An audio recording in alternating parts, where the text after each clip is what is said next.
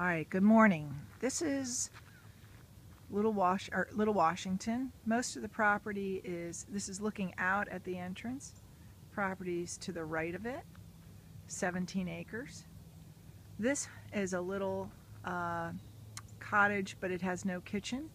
Has a bathroom, pr pretty good for an office.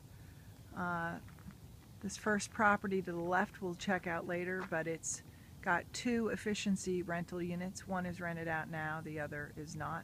All these leases are month to month, could be terminated at any point.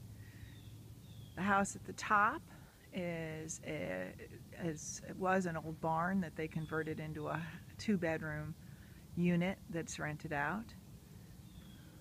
And then this is the house. It's got uh, a variety of sections dating back to the 1700s for the main house. Coming down here,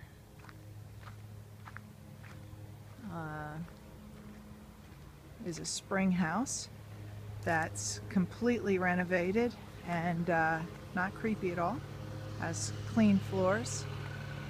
The property adjacent to this is owned by the township and uh, is deed restricted. So you're, this is a little oasis of uh, seclusion.